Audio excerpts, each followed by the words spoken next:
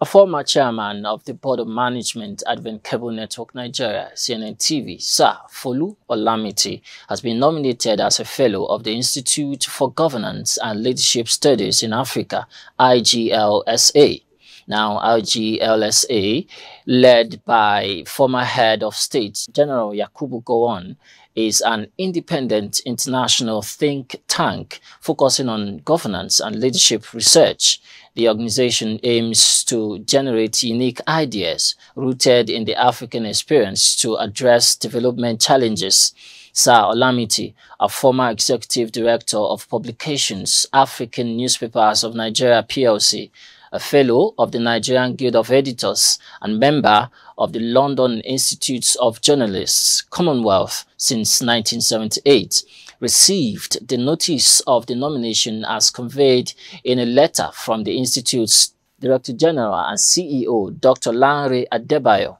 The Institute noted that the nomination is against the backdrop of Olamiti's exemplary contributions to developing the journalism profession in Nigeria.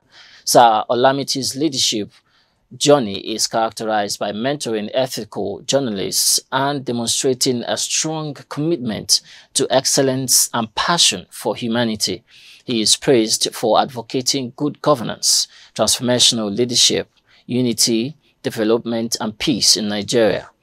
The statement emphasizes the importance of such qualities in, in, leaders, asserting that the country urgently requires leaders with these attributes.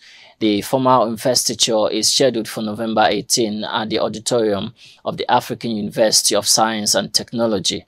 The event will be chaired by the Professor Nuhu Yaqub, the former Vice Chancellor of the University of Abuja and Chairman of the Institute's Membership Committee.